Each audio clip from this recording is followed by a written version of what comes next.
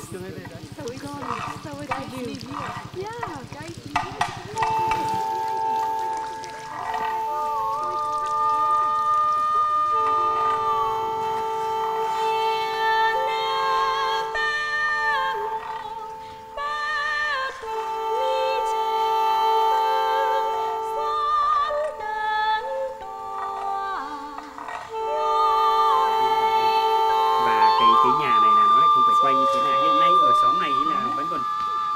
xóm này vẫn còn thiếu hai phòng học nữa hai phòng học thì các cháu này và trong thời gian tới là chúng tôi sẽ đầu tư và làm con đường bê tông ở đây sang sang bên kia Two classroom and uh, one teacher room and uh, this room.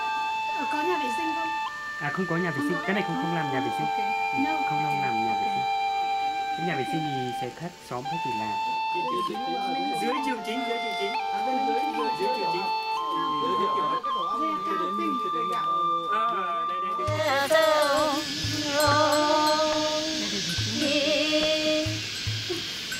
somos la vecindad.